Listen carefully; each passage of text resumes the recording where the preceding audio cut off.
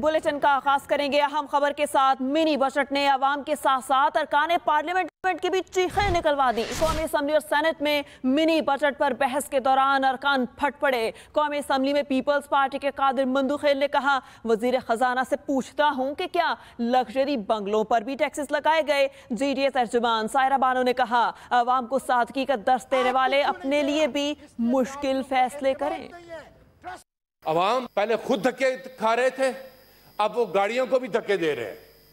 इन्होंने अवाम की किस्मत में धक्के लिख दिए हैं। हर लिहाज से इसके अलावा और कुछ नहीं।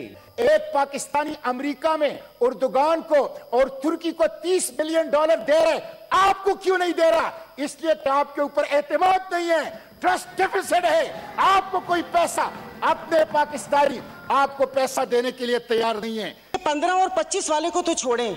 मुझे एक पचास हज़ार वाले का बजट बनाकर दिखा दें। आवाम को सादगी का दर्ज दिया जा रहा है। आप यहाँ पर आके भाषण देते हैं कि ये हमें मुश्किल फैसले करने पड़ेंगे। मुश्किल फैसले अपने लिए करें ना।